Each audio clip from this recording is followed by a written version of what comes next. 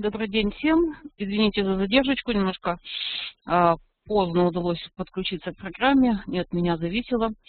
А, мы начинаем наш очередной брифинг, посвященный техническому нашу, а, анализу нашего рынка. И с вами я, Елена Беляева и компания Китфинанс. По традиции пару слов о расписании. А, сегодня после нашего брифинга состоится еще один брифинг Итого 18-15. И, в общем-то, на этом наша а, программа на сегодня будет исчерпана. А мы с вами а, идем а, и смотреть, что происходит на рынке, и знакомимся с той ситуацией, которая есть сейчас. По традиции давайте взглянем немножко на рынки зарубежные. На американском рынке ситуация Следующие э, индексы S&P 500 и Dow Jones оба находятся между поддержкой и сопротивлением в таком э, боковом движении. И движение происходит сейчас э, восходящее, стремление к достигнуть сопротивления. То есть, скорее всего, на этой неделе мы его, это сопротивление и увидим. А, вот, то есть ожидания ограниченного движения наверх, так скажем. Что будет дальше, будем смотреть, а, будет ли пробиваться сопротивление. Дальше. На рынке нефти. На рынке нефти достаточно такая интересная ситуация возникла. Так, дайте-ка я выкопаю, где-то у меня был бренд. Значит, э, на э, бренде был такой широкий нисходящий канал, который достаточно долго длился. И, э, в общем-то, буквально на прошлой неделе был выход наверх из этого канала. То есть возникли такие ожидания а, дальнейшего а, продолжения движения цены а, на нефть наверх. Единственное, что вот сейчас держит где-то на уровне 116, держит сопротивление, пока не дает преодолеть этот уровень, то есть его уже три раза отрабатывала цена, и оно вот по каким-то причинам оказалось достаточно прочным. Вот, то есть при проходе этого сопротивления наверх будет открыто пространство для движения а, к более высоким целям. Вот. А, но, а, по сути дела, даже сегодня немножко корректируется цена на нефть. Все равно это уровни цены на нефть достаточно комфортны для нашего рынка, достаточно высокая цена, и поэтому это позитивное влияние оказывает на нашу ситуацию.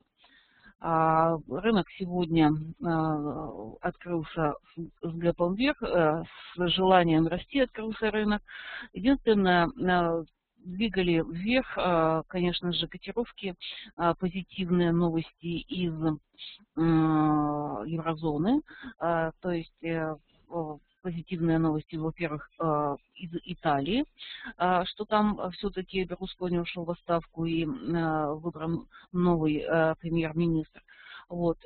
И в общем-то, на вот этом позитиве был такой импульс эмоциональный наверх, но вот сейчас полностью практически это восходящее движение перечеркнуто нисходящим, и вот если мы будем смотреть на ситуацию а, более, так скажем, а, отойдем немножко назад и посмотрим, ситуация все-таки выглядит либо как боковой коридор, то есть мы находимся в боковике, а, верхняя граница 1550, нижняя граница 1440, и, соответственно, внутри этого диапазона продолжаем движение.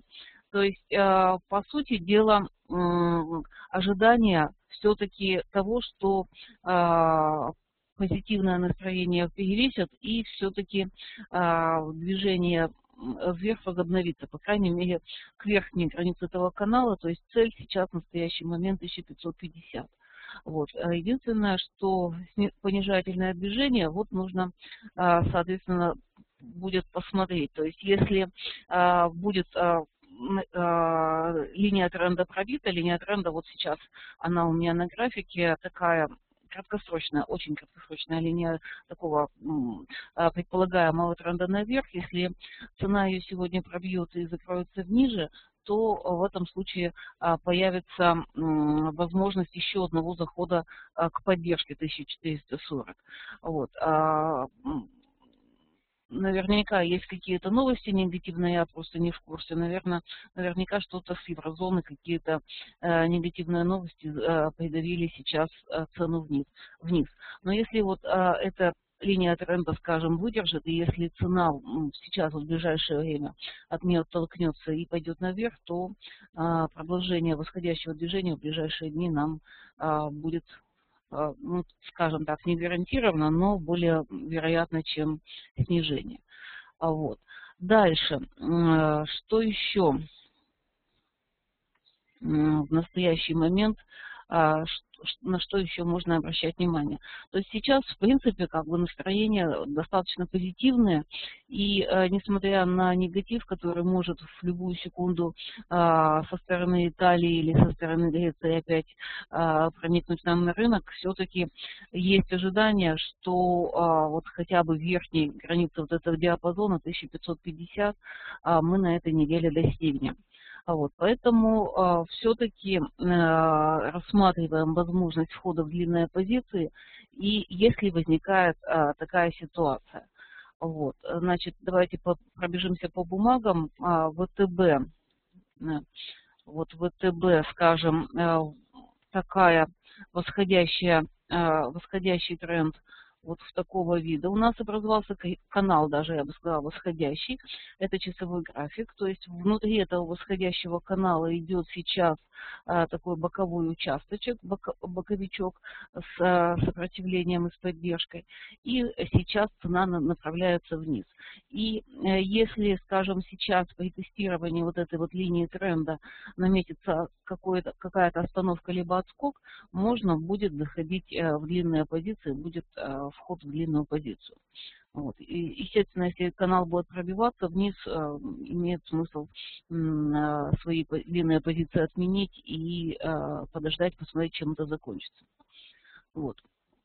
То есть в восходящем канале все-таки, как бы сказать, предпочтительнее покупки. То есть сейчас, в настоящий момент, ждем касания, еще одного касания трендовой линии, и тогда может возникнуть сигнал на покупку. Газпром. А, в Газпроме тоже а, восходящий тренд э, краткосрочный пока в силе. И мы говорили на прошлой неделе, что вот здесь вот был такой треугольничек сложился симметричный, и э, из этого треугольника выход был наверх. Единственное, что а, почему мы теряем а, доверие к этому треугольнику и желание а, на основании этого треугольника открывать активно длинные позиции, Единственное, это то, что треугольник решился слишком поздно, то есть близко к э, линиям э, пересечения графических границ, так называемого апексу. То есть, когда выход из треугольника происходит поздно, очень часто э, дальнейшая ситуация в, начинает развиваться в виде боковика. То есть вот такой вариант э, развития событий здесь вполне вероятен.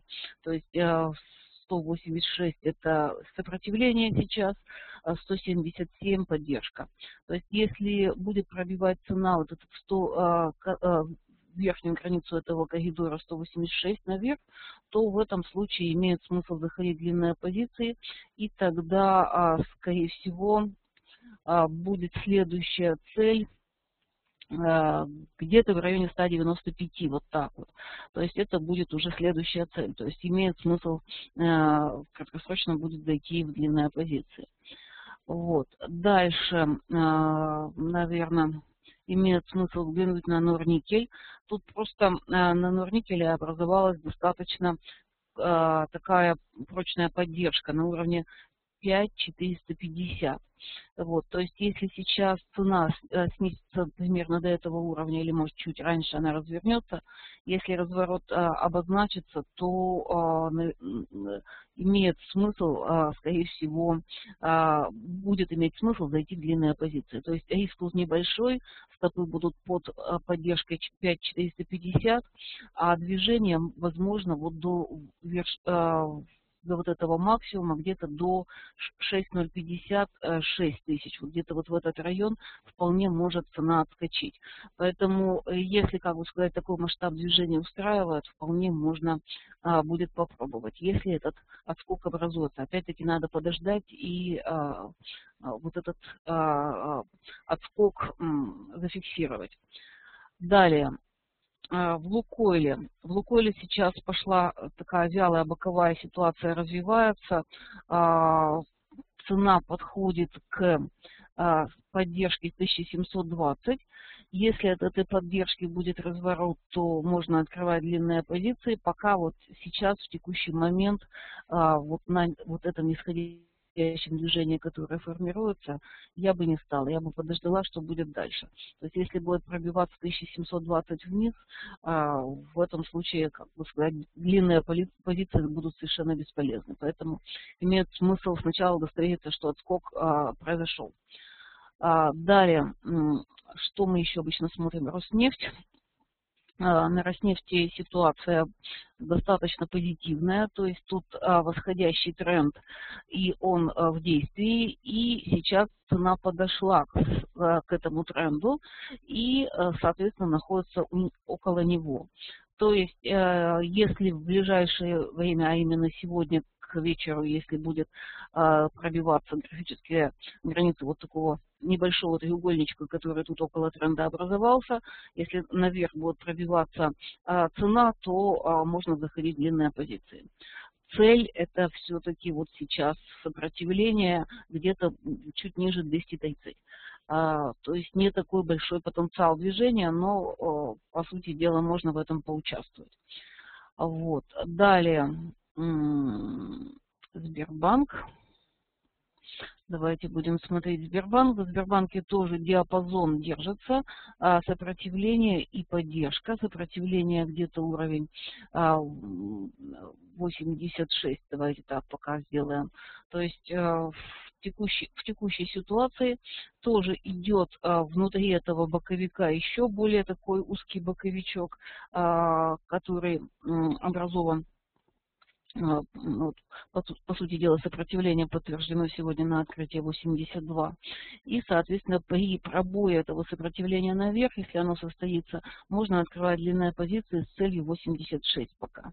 То есть э, при подходе к 86 надо будет закрыть позицию из осторожности, может быть, э, откат. Вот, а, то есть здесь тоже есть возможность немножечко а, заработать на восходящем движении, если оно, а, в общем-то, наметится. Вот, а, такая ситуация. И, а, пожалуй, как бы сказать, из интересных вариантов наверное, все. Можно еще вот взглянуть, наверное, на Новотек. На Новотеке есть такой треугольник, а, восходящий треугольник, эта ситуация называется. То есть верхняя граница – это сопротивление, нижняя граница наклонная.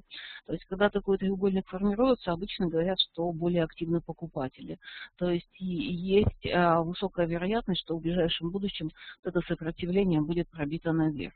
То есть при пробое наверх имеет смысл открывать э, длинную позицию и цель будет измеряться шириной треугольника, то есть э, его нужно будет отложить от сопротивления, цель будет где-то вот в районе 440-442, вот так вот, э, в таком варианте. То есть если такой вариант тоже устраивает, можно тоже последить за этим треугольником, за развитием событий.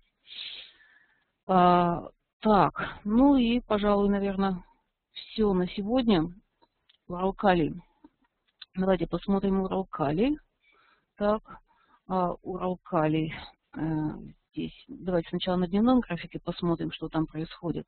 То есть на, на дневном графике идет а, движение в диапазоне, а на часовом графике вот уровни, а, хорошо проторгованный уровень, а, который служил много раз поддержкой 235. Вот, а, то есть сейчас, то, что происходит сейчас, эта ситуация, она напоминает вот такую клиновидную структуру какую-то, какого-то вида. То есть а, вот этот клин, он вполне может еще немножко вниз сходить либо а, до 240, либо может быть даже чуть-чуть пониже на 235, но при пробое из этого выхода, из этого клина наверх, а, все-таки а, имеет смысл покупать. То есть а, а, эта фигура, она может сработать как фигура продолжения. То есть цель э, движения будет где-то вот 290-295. Вот. Если э, выход из этого клина состоится, э, то можно будет открывать длинные позиции. А сейчас смотрим, пока наблюдаем движение внутри этого клина. Внутри, я думаю, что нет пока смысла заходить в позиции, имеет смысл подождать и посмотреть, чем это закончится. По идее, должно еще немножко ниже спуститься, ой, sorry, и, соответственно, а, после этого только а, может быть пробой. Вот. То есть а, здесь имеет смысл набраться терпения и немножко подождать. То есть на этой неделе вполне может быть э, какая-то ситуация более определенная и уже ситуация для открытия позиции. Так, форс. Значит, форс, я так понимаю, фьючерс на индекс РТС мы смотрим, да? ситуация на фьючерсе, она мало отличается от э, ситуации на индексе МВБ на самом деле. То есть все равно тот же самый канал, то есть тут вопрос только канал это или треугольник на самом деле, а, потому что а, второй а, максимум был ниже. Вот, такого варианта движения, то, есть сейчас, в настоящий момент, отслеживаем вот эту ситуацию восходящую. Если сейчас э, пробитие произошло, ну, как бы сказать, печально, но, в общем-то, ожидалось, что будет все-таки движение к верхней границе этого диапазона, но так как, а, в общем-то, оно не случилось, видимо, а, в настоящий момент а, ждем движения на, поддержку 149-500, и если на э, этой поддержке будет разворот, то можно будет использовать этот разворот для открытия позиций.